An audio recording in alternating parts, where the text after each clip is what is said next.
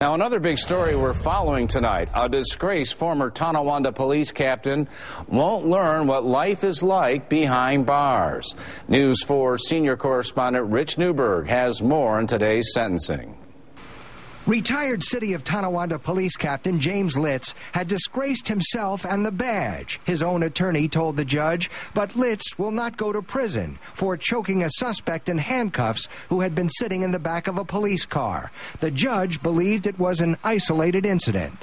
But the bottom line is, is that he's contrite and, and he's sorry for what he did. He really is. Litz's daughter had been receiving anonymous threats around the time two men were arrested after trespassing in Litz's backyard. They actually had been attending a nearby party, but Litz went after one of the suspects. Judge Richard Arcara, in sentencing Litz to two years probation, believed Litz was acting emotionally as a father and was not proven to be a rogue cop. He had access to 32 years of accommodations and uh, almost 100 letters from the public on what Jim's service was.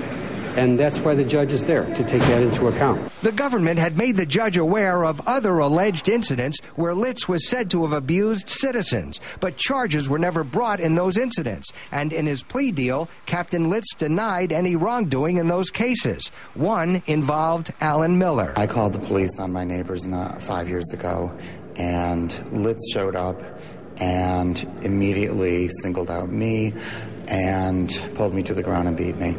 Miller said he regrets not filing charges against Litz and believes the sentence sends out the wrong message. I'm shocked that Judge Arcara allowed uh, a cop that denies civil rights to basically go walk free. And we've been around too many good police officers to know that that's, uh, whatever happens here is not going to have an effect. What the judge did today is not going to say to some police officer, go out and do something wrong. That's absolutely not what's going to happen.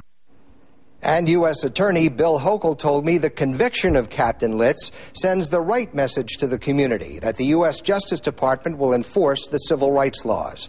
Reporting live, Rich Newberg, News 4 at 5.